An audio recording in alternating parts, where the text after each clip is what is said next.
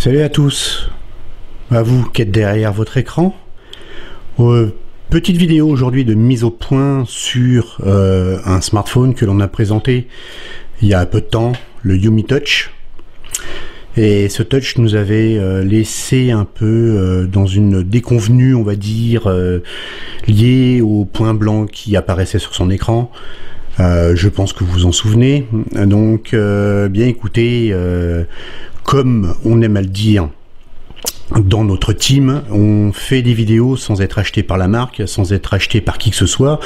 On fait des vidéos et on montre, les vrais problèmes existants sur bah, les smartphones ou les appareils que l'on peut tester.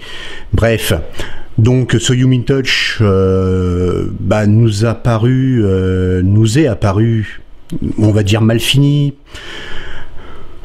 même les mises à jour au final euh, n'ont pas changé grand chose, principalement sur le lecteur d'empreintes, mais donc encore moins sur cet écran brûlé. Euh, qui euh, ben, au départ avait deux tâches, maintenant il en a quatre. Donc quatre c'est bien quatre, hein. donc c'est pas terrible terrible. Bref, eh bien écoutez, j'ai reçu un message sur euh, notre blog et une personne nous dit bah bravo pour le test mais attention euh, Yumi a publié un petit message. Eh bien écoutez ce petit message je vais vous le montrer et on va en parler après. Voilà. Et hop on y va. Alors on va essayer de se rapprocher. Voilà vous allez le voir correctement. Pour que vous puissiez bien lire. En gros comme ils le disent, euh, eh bien écoutez, en gros c'est euh, un souci euh, premier batch, gros problème sur le collage de l'écran et il donne une adresse mail, hein, vous l'avez vu, on la remettra dans, le, dans la vidéo en commentaire. eh bien écoutez, voilà, premier batch, gros souci de collage de l'écran. Alors on nous a supprimé à nous notre thread sur le blog de chez, euh, enfin le forum plutôt, euh, ça sonne de partout, c'est pas grave, je finis ma vidéo sur le forum euh, Yumi.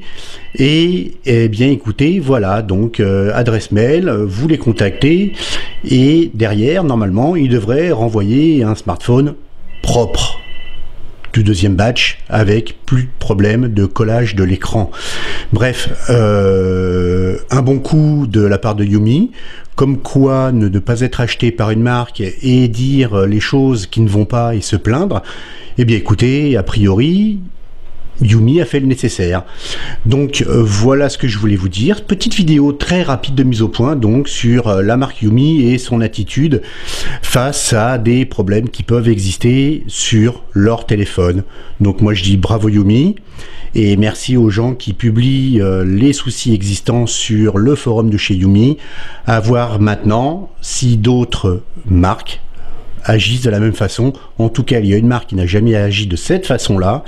C'est le phone. Maintenant, le phone progresse, mais ils n'ont jamais agi en renvoyant, ou en tout cas, en tout cas, pardon, en donnant une adresse mail pour dire écrivez-nous, on vous renvoie un nouveau téléphone. La vidéo vous a plu, notre notre sincérité vous plaît, n'hésitez pas à nous mettre un pouce bleu, hein, le pouce en l'air qui va bien, à nous mettre un commentaire et à partager à travers le monde. Bien à vous, portez-vous bien et allez à plus. Ciao